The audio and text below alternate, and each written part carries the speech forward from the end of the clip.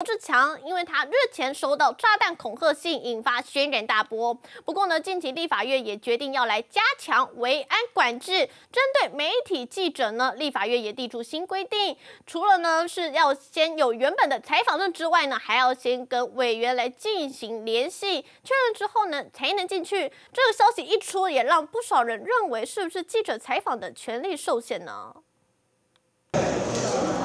一大早，立法院中心研究会馆人员不断进进出出，立法院诸位警不敢疏忽，一个一个确认身份，走过安检门才敢放行。来，谢谢谢谢谢谢。这么紧张，就是因为立委罗志强日前收到炸弹恐吓讯息，连立委黄杰也接到勒索恐吓信，引发轩然大波。立法院维安拉警报，不止明显加强警力部署，保六总队长李安全低调现身立法院。对于媒体记者，立法院也有新规范。立法院最新规定，现在如果记者要进到立委的研究室，除了原本的采访证之外，还得跟立委办公室事先预约联系，要不然就不能进入。不同于以往，只要凭借立院采访人员出入证，就不能在立法院内自由采访拜会。立院总务处要求记者必须先等驻卫警致电立委研究室确认后才会放行。不过如此一来，不仅大大限缩媒体采访权利，也让采访证顿时失去作用，引发媒体们不满，向立法院反映。但秘书处也回应，这仅仅限制周末管制，平日并不会受到影响。我想在立法院的